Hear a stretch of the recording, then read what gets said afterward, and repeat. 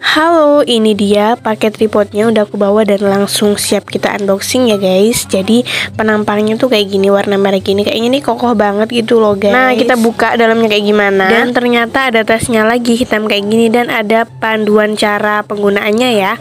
Oke kita buka. Dan ini ada talinya guys. Jadi bisa disangkluk gitu. Bisa model A, model B gitu guys. Nah ini kita buka dulu. Kita ambil tripodnya Wow aku kaget banget sih. Ini bagus banget. Jadi ini emang harganya lumayan ya 100 ke atas. Biasanya kan tripod 50-an ribu tapi ini tuh aku beli karena emang aku udah bosen gampang rusak tripodku. Akhirnya aku beli yang agak bagusan dikit. Ini aku belinya di Shopee dan panjangnya segini guys. Ini kemungkinan satu setengah meter ya. Terus habis itu ini bisa dipanjangin lagi. Caranya itu bisa dibuka ini bagian merah-merahnya ini bisa dipanjangin sama ditutupin. Nah selanjutnya aku mau utak-utak yang bagian atas. Jadi yang aku utak-utak ini untuk tempat wadah HP jadi kita ulir dulu ya. Nah, di sini tuh juga ada cara penggunanya guys. Jadi kalian tinggal baca-baca aja.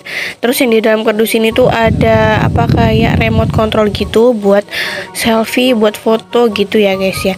Terus ini tuh kayak apa namanya? tali gitu. Nah, coba aku baca dulu dan ternyata fungsinya kayak gini guys. Jadi ini itu dipasang di sini buat uh, holder HP-nya. Terus kalau udah siap gini kita masukin sini ya jadi ini kayak ada murnya jadi kita tinggal pasang aja pasang aja tinggal puter-puter gitu aja guys. Nah kayak gini ya sampai rapet banget. Kalau dirasa udah rapet kalian bisa coba uh, di bagian ini. Nah bagian ungklik-ungklik nah ini tuh banyak banget murnya guys.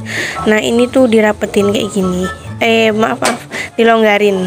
Nah ini fungsinya untuk uh, derajat HP mau agak miring atau miring banget jadi terserah kalian. Nah ini selanjutnya mau coba aku rapetin lagi biar lebih kokoh nah, ya yang bagian pegangan ini diulir biar makin rapet ya. Soalnya ini untuk memiring-miringkan handphone tau kan? Biar dinglu dan gitu loh guys. Nah kalau ngerekamnya bagian bawah ini bisa diputar agak agak miring gitu.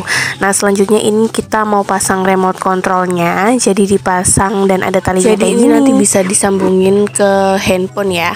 Nah ini udah siap udah siap untuk merekam. Ini aku udah pakai tripodnya. Oke terima kasih buat yang udah nonton. Jangan lupa like comment dan subscribe ya